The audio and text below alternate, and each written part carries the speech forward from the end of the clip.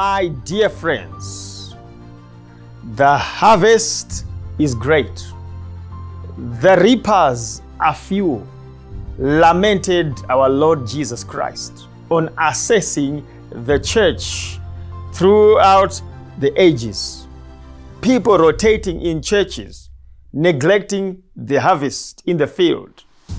Now is the time, friends, to mobilize and enlist for the harvest of the Lord to get out of the churches into the field and win souls. Jesus is coming again. Let us meet on the Show Me God platforms on Facebook and YouTube as we counsel and equip and train a people for the harvest of the Lord. I'm your friend Irvine Nyatanga